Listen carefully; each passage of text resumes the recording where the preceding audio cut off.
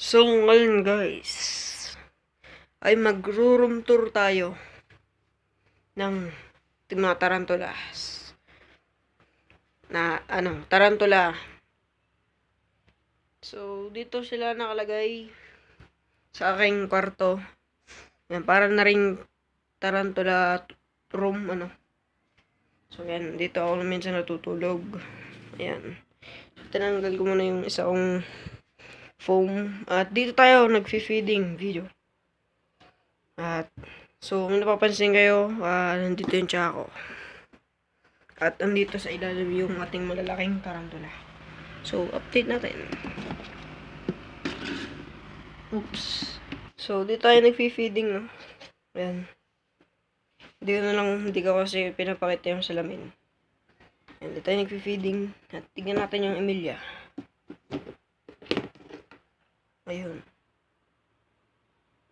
Napaka, ano, laki. At ito naman guys yung uh, fire leg. Pakita ko sa inyo yung likod ng aking ano, kwarto. Yan. Yan guys, at ito yung Yan guys, yung aking baba ng aming bahay. Yan, nandyan yung pusa ko at yung aso. Ah, hindi ko pa pala nabablog si Stans. Ayan. So, kaya binuksan ko yung electric fan. Ah, hindi nga, mainit masyado.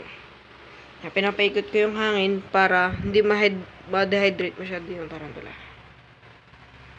Yung si Vegans. At ito si Fireleg. Na 6 inches na. Uh, pre-mold pa siya.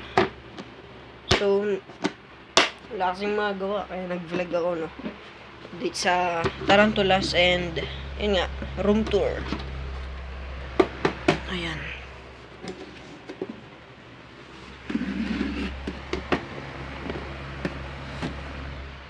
At meron pa pala ako dito extra na kahoy para sa ating OBT. So, dito natin ilalagay yung OBT.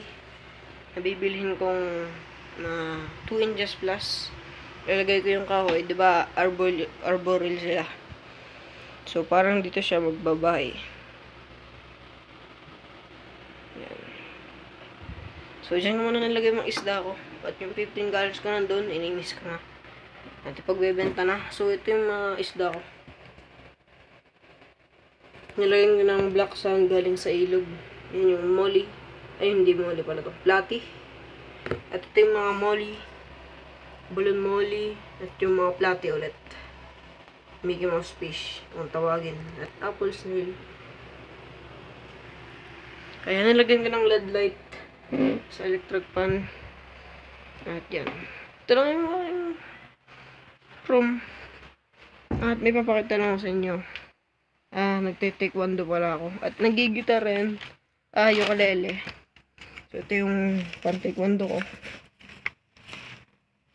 Ayan yung stock room.